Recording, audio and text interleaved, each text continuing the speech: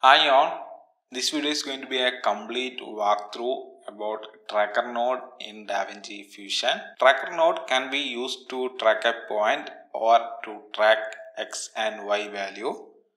On a tracker node, we can have multiple track points. Each track point will track x and y coordinate which can be used by the tracker node itself or by any other node. So let's jump into this um, walkthrough. First about the node structure, you need to connect the tracker node to the media that you like to track. If you only need the point value that you are tracking, then you don't need to include the tracker node on your node tree as the tracker value can be applied directly from the inspector tab using the connect to option. Or you can keep the tracker node on your node tree you can use the tracker node as merge node and connect the input to foreground and use functions like match move, corner positioning and perspective positioning. And if you want to stabilize the video using the tracker node, you can do that. On that case also, you need to keep the tracker node on your node tree. But there is no need to input anything in the foreground of the tracker node. Also, a tip I can share is that if the video that you are tracking does not add good contrast then you can add a brightness contrast node before the tracker node and add contrast to the video. So there will be a good separation so you can track effectively. After the tracking you can just delete the brightness contrast node. So after adding the tracker node from the viewer we can control the track points. On the viewer there will be a rectangle. Things inside the rectangle will be tracked. There will also be a rectangle made out of dashes that one is the search area. Search area will act as a safety net. When the things that you are tracking is not found in the rectangle, it will search in that search area box. You can move this point using the square at the top left corner. Also, you can resize these boxes from the viewer itself. Now on to the inspector. There will be three tabs. First tab will allow you to control tracking details Second tab will allow you to control the functions provided by the tracker node. Third tab will allow you to control the on-screen controls. First, let's look at the on-screen controls. Show pattern names will show the tracker name on the viewer. Enlargement pattern on dragging controls whether to magnify the points or not when you move the track point from the viewer. Enlargement scale controls the magnification strength. Lastly, search area scale will allow you to control the search box size. Now on to the tracker tab. First one is the track controls. You can use this to start or stop the tracking. Thing to remember is that there is no option to track one frame at a time.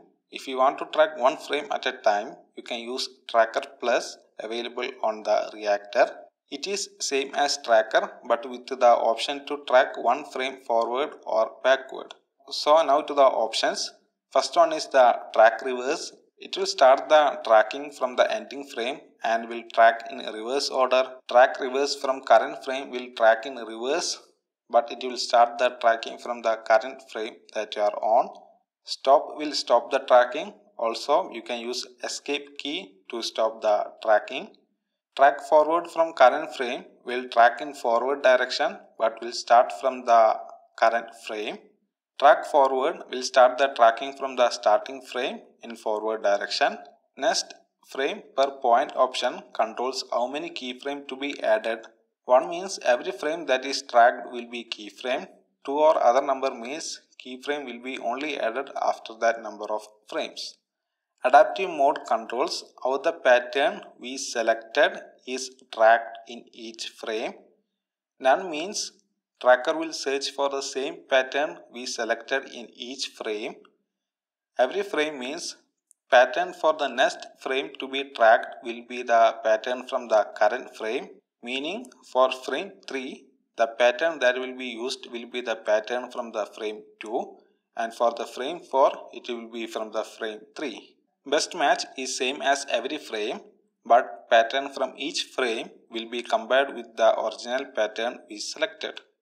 If they matches, then only it will be tracked. We can control how much comparison needed to be done by using the match tolerance control. Next is the path center. If you are tracking something which leaves the field and come back after some frames or if you want to change the pattern we are tracking after some time, Then at that time we can use the track center option in this path center. By using the track center, the path will be joined as shown in the video. While in pattern center, if we do the same thing, new pattern will be created as shown in the video. Now on the tracker list, it shows all the tracker. You can add new tracker using the add option and delete the tracker using delete option. To disable a track point, just press the box, it will disable the track point. Then if you press it again, then it will be in suspended mode. In this mode, the track point will not be tracked by using the track option, but the points that are already tracked can be used by other nodes. By using the show option, we can show the tracker settings of selected tracker or all the tracker. The small box shows what we are tracking. We can refine the pattern we are tracking from here. We can choose color, individual channels, alpha or luminance or automatic option. If we choose any channel, only the data from that channel will be used for tracking. The box on the right side shows what we are tracking when we start the tracking process and after tracking we can play this box to see what we have tracked. Green line at the side shows tracking efficiency Green means the track is good, yellow means average track, red means the tracking is not good.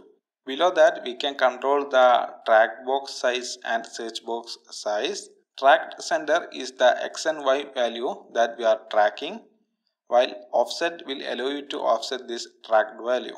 On some cases when we use tracker we won't be able to place the track points to the exact location we like the tracker to be at at that time, we will use another location to place the tracker. Then we'll use the offset option to get the correct value. We can also adjust the offset value from the viewer. Just enable the controller and you can move the offset point. Now for the operation, first one is the none. You can keep it like that if you are going to use the track points on another node. But if you want to perform other operation, we can do it from here. First one is the match move. By using match move, we can stabilize our clip as well as add another clip which will move exactly as the points we tracked. To use this as stabilizer, from the merge option, select background only. Thing to notice that for stabilization, it will be better to add two track points, then only we can stabilize the rotation parameter. Then from the below options, we can stabilize the clip using position, rotation and scaling tick boxes. All these three options will stabilize their respective motions. Next one is the match move.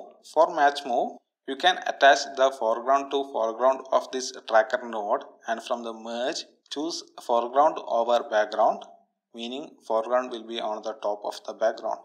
Other option in this merge section is the BG only FG only meaning only background or only foreground will be shown. BG over FG means background will be on top while the foreground will be on bottom. Apply mode can be used to change the blend modes.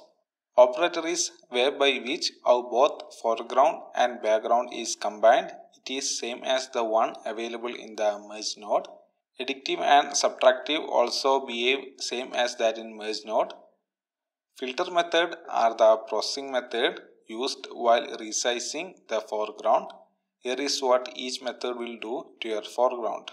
Edge option will allow you to fix the edges if the edges reveals the background. Warp, duplicate, mirror will give good result. Just change this option to find the one which is good enough to fix the issue. Position, rotation, scaling will allow you to match the move more accurately each tick boxes will add their respective motion to the foreground making it more accurate as possible. Flatten transform will flatten the transform like when you use the flatten option in Photoshop. I didn't get this uh, properly but this is what DaVinci is sharing regarding this option. On the match move settings, pivot type determines how the anchor point for rotation is selected. Tracker average averages the location based on the tracking point. Selected tracker provides a menu where you can select the tracker that you added. On manual, you can manually type in the X and Y values. Reference is the reference frame which match move will try to achieve. Simple way to explain this uh, reference frame option is that if you are stabilizing then the frame mentioned in the reference will be the final stabilized image and the tracker will try to achieve this final stabilized frame. You can either set a custom frame or starting or ending frame. To select a custom frame, you need to first move the handle to the frame that you like to use, then choose select time from the reference.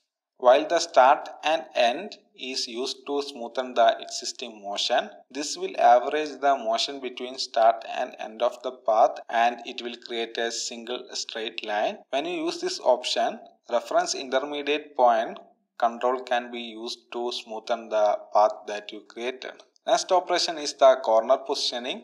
It is mainly used to replace a rectangle object like screen of television or phone. To use this, you need to have four trackers and these four trackers will be the corner point of the foreground. On the merge, you need to choose FG over BG. Other options are same as the match move options. In mapping type, bilinear means when you position the foreground over the background, it won't fix the perspective distortion happening in the foreground video. While in perspective, DaVinci will automatically fix all the perspective issue that happen. Top left, right, bottom left, right option can be used to specify which tracker point to be used on these corners of the foreground. Rotate clockwise and counterclockwise can be used to rotate the foreground. Next operation is the perspective operation. It is used to remove the perspective from the videos. All the options work same as the corner positioning.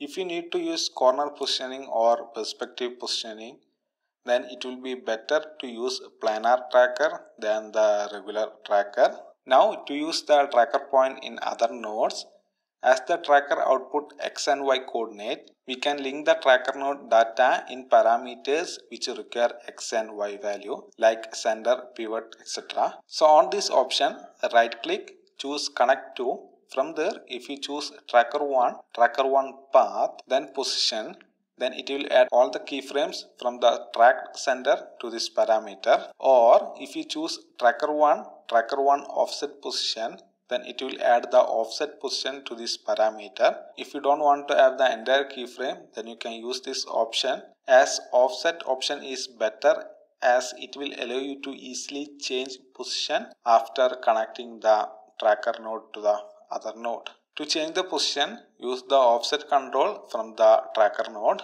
Now, if you want to use the stabilization data from the tracker, then you can connect the steady position or unsteady position. Steady position will connect this in correct order while unsteady position will invert the points and connect. We can really see all the values of the steady position and unsteady position. Only option that we can use to control these point is the match move settings in the operation section of the tracker. Steady size and steady angle can be added to parameter which got single input like size and angle. This value will output the size and angle value from the match move.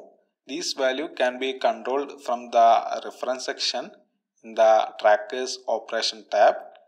There is no way for us to clearly see this value in the tracker. For these two parameters to work, we need to have at least two tracker points in the tracker. Next is the unsteady size and unsteady angle. It is same as steady angle and steady size but the value will be the inverse. You only need one tracker point to add unsteady size and unsteady angle. It is usually used to reintroduce the respective motion that is the size difference and angle difference in the video. So that's all about this uh, tracker node walkthrough guys. I hope you guys find this video useful. If you do so, hit the like button and don't forget to subscribe.